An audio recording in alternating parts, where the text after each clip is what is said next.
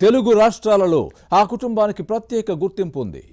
ఆ కీలక నేత మరణంతో అంతా అయిపోయిందనుకున్నారు. కానీ తండ్రి ఆశయ సాధనకు తనయుడు నడుం బిగించాడు. వచ్చే ఎన్నికల్లో పోటీ చేయడం గ్యారంటీ అనే ప్రకటనతో రాజకీయంగా కలకలం రేపారు.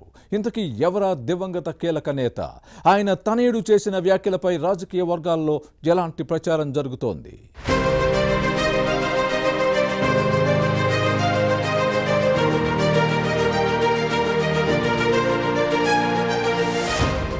తెలుగు రాష్ట్రాల్లో పరిచయం అక్కర్లేని నేత కోడెల శివప్రసాదరావు. పల్నాడు జిల్లా నకిరేకల్లు మండలం కండ్లకుంటకు చెందిన కోడెల వృత్తిరీత్యా వైద్యులు. నర్సారావుపేటలో రూపాయి డాక్టర్గా పేరుగాంచిన ఆయన ఎన్టీఆర్ పిలుపుతో టీడీపీ స్థాపన సమయంలో రాజకీయాల్లోకి అడుగుపెట్టారు. నర్సారావుపేట నుంచి నాలుగు సార్లు ఎమ్మెల్యేగా గెలిచి పలు మంత్రిత్వ శాఖలను నిర్వహించారు. అయితే నియోజకవర్గాల పునర్విభజనలో భాగంగా సొంత మండలం నకరేకల్లు సత్తెనపల్లి నియోజకవర్గంలో కలవటంతో తప్పనిసరి పరిస్థితుల్లో కోడెల నర్సారావుపేటను వదిలి అక్కడికి వెళ్ళాల్సి వచ్చింది. ఇక రెండు వేల పద్నాలుగులో సత్తెనపల్లి నుంచి పోటీ చేసి గత ప్రభుత్వంలో నవ్యాంధ్ర తొలి అసెంబ్లీ స్పీకర్గా పనిచేశారు. అయితే రెండు వేల పంతొమ్మిది ఎన్నికల్లో సత్తెనపల్లి నుంచే పోటీ చేసి అనూహ్యంగా ఓటమి చెందారు. అదే సమయంలో ఆ ఎన్నికల్లో వైసీపీ అధికారంలోకి వచ్చింది. ఆపై వైసీపీ ప్రభుత్వ వేధింపులు తాళలేక ఆత్మహత్య చేసుకోవటం తెలుగు రాష్ట్రాల్లో సంచలనం సృష్టించింది.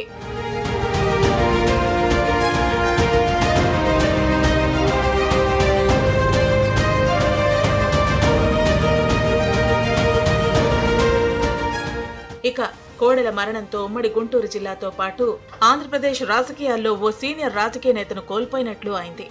ఆయన మృతితో టీడీపీకి కూడా గట్టి దెబ్బ తగిలింది. కోడెల కుటుంబ సభ్యులకు టీడీపీ అధినేత చంద్రబాబు అండగా నిలిచారు. చంద్రబాబు ఇచ్చిన భరోసాతో కోడెల శివరాం ఎక్కడా ధైర్యం కోల్పోకుండా రాజకీయంగా ముందుకు సాగుతున్నారు.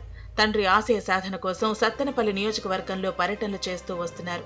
కోడెల మరణం తర్వాత సత్తెనపల్లి ఇన్ఛార్జి పదవి ఇవ్వాలని కోరుతూ నియోజకవర్గాన్ని చుట్టేస్తున్నారు.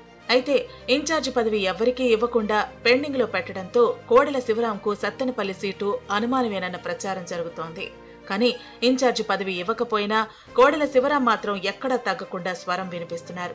ఏ సత్తెనపల్లి నియోజకవర్గం నుంచి ఓడిపోయి అవమానాలు పడి ఆత్మహత్య చేసుకున్నారో అక్కడి నుంచే ఎమ్మెల్యేగా గెలిచి కోడల ఆశయాలను నెరవేరుస్తానని శపథం చేస్తున్నారు. కానీ సత్తెనపల్లి ఇన్ఛార్జి పదవి పెండింగ్లో పెట్టడంతో ఆ నియోజకవర్గాన్ని పొత్తులో జనసేనకు ఇస్తారనే ప్రచారం సాగుతోంది.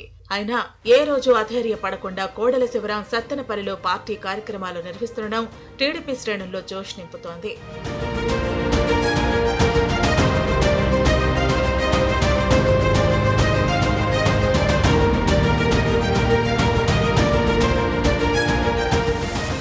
ఇదిలా ఉంటే కన్నా లక్ష్మీనారాయణ ఇటీవలే టీడీపీలో చేరటంతో మరో కన్ఫ్యూజన్ మొదలైంది.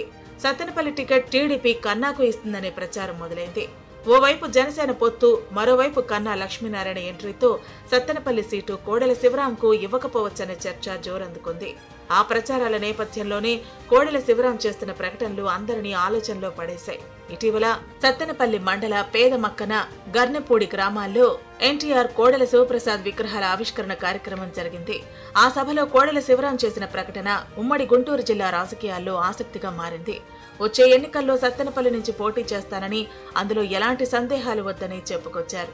అధినేత మాట ప్రకారమే రాజకీయంగా ముందుకు సాగుతున్నట్లు గుర్తు చేశారు. పొత్తులు పెట్టుకున్నా కన్నా లక్ష్మీనారాయణ లాంటి నేతలు టీడీపీలోకి వచ్చినా ఎవరికీ సందేహాలు అక్కర్లేదని కోడెల శివరాం చెప్పడం హీట్ పెంచుతోంది.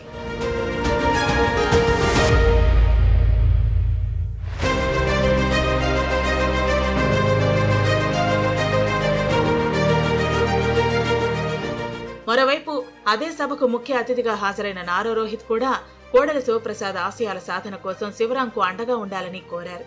అంతేకాదు నారా రోహిత్ సత్తెనపల్లి కార్యక్రమానికి వచ్చే ముందు చంద్రబాబును కలిసే శివరాం ప్రోగ్రాంకు వెళుతున్నట్లు చెప్పే హాజరైనట్లు తెలుస్తోంది.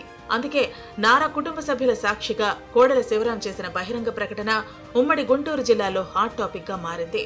అదే సమయంలో పార్టీ భరోసా లేకుండా కోడెల శివరాం అంతటి బహిరంగ ప్రకటన చేయరనే చర్చలు కూడా కొనసాగుతున్నాయి. మొత్తంగా వచ్చే ఎన్నికల్లో పోటీ విషయమై కోడెల శివరాం బహిరంగంగా ప్రకటన చేయటం టీడీపీలోనూ ఆసక్తికర చర్చకు తావిస్తోంది. ఈ నేపథ్యంలో కోడెల శివరాం ప్రకటనకు చంద్రబాబు ఎప్పుడు అధికారికంగా గ్రీన్ సిగ్నల్ ఇస్తారో చూడాలి మరి.